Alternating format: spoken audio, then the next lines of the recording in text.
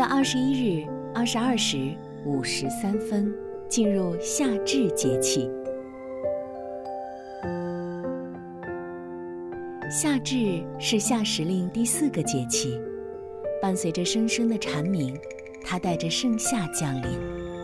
这天也是二十四节气白天最长、影子最短的一天。夏至光照充足，降雨充沛。时至盛夏，作物狂长，雨热同齐。一期稻作已成熟，并且开始收割了；二期的稻作也开始播种育苗，是耕作劳动的黄金时期。暖风徐来，麦穗黄；帘卷西风，一帘香。夏至天气虽热，但还没到最热的时候。